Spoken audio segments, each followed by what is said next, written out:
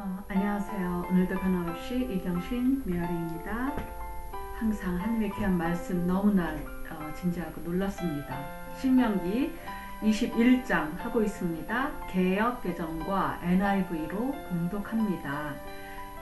16절 말씀부터입니다. 자기의 소유를 그의 아들들에게 기업으로 나누는 날에 그 사랑을 받는 자의 아들을 장자로 삼아 참 장자 곧 미움을 받는 자의 아들보다 앞세우지 말고 when he wills his property to his sons he must not give the right of the firstborn to the son of the wife he loves in presence to his actual firstborn the son of the wife he does not love 어, 와이프가 둘이 있어갖고 정말 하나는 사랑하는 사람이고 하나는 음, 미워하는 그런 와이프일지라도 근데 미워하는 와, 이프에게서첫 장자가 태어났을 경우에 그런 어떤 경우를 막론하고 장자는 장자이기 때문에 장자를 어, 그 유산을 상속할 자로 삼아야 한다는 것입니다. 아무리 사랑하는 어, 아들이 사랑하는 와이프의 아들이 있다 할지라도 그 먼저 태어난 어, 미움을 받는 그 사람에게서 태어났든 사랑을 받는 사람에서 태어났든 장자가 가장 중요하다는 것입니다.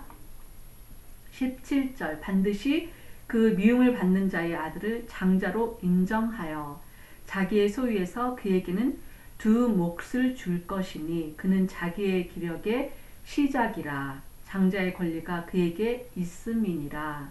He must acknowledge the son of his unloved wife as the firstborn by giving him a double share of all he has. That son is the first sign of his father's strength. The right of the firstborn belongs to him. 음, 아무리 미움을 받는 어, 자의 아들이라 할지라도 장자를 인정해야만 합니다.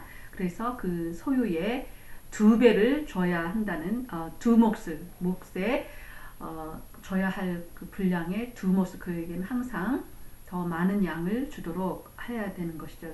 장자이기 때문에 장자가 그만큼 소중하고 귀중하다는 것을 어, 깨우쳐 주는 말씀이라고 하겠습니다.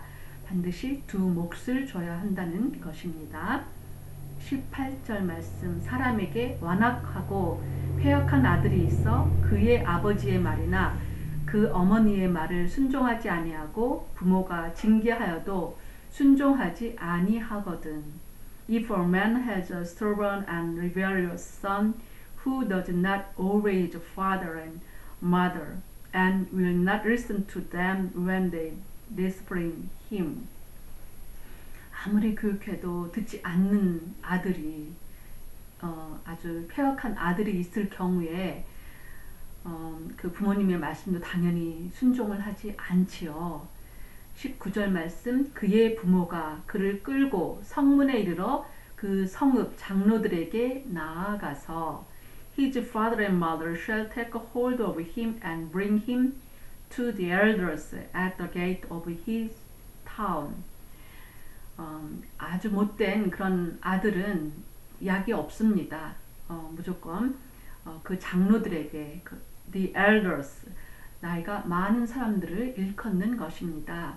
그 성읍 장로들에게 나아가게 됩니다. 데리고 가야 합니다.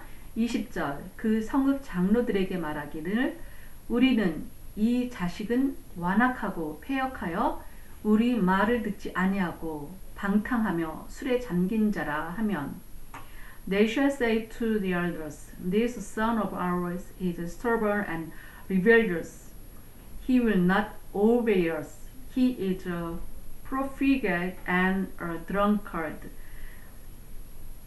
방탕하고 항상 술에 잠겨 있고 아주 완악하고 폐역한 이런 아들이라고 말했을 경우에 그 장로들 앞에서도 그 부모가 어, 부모가 끌고 갈 수가 있습니다. 아주 폐역한 아들일 경우에는 그 장로들에게로 끌고 갈 수가 있게 되겠죠. 어, 만약에 아주 미움을 받는 그런 와이프의 아들이 아무리 장자라도 아주 폐역한 이런 아들이라면은 그런 어, 장자의 직분을 또 어, 다음 장에는 돌로 쳐 죽이게 됩니다. 그렇기 때문에 직분도 빼앗을 수가 있게 되겠지요. 만약에 아주 음, 그 미움을 받는 아내의 아들이 장자인데 또 아주 폐역한 아들이라면은 그 같은 경우는 돌로 쳐 죽이게 어, 됩니다. 어, 하나님의 귀한 말씀, 공평하고 참으로 의로우신 하나님의 말씀을 항상 우리는 존중합니다. 오늘도 귀하고 께 나라 되십시오. 감사합니다.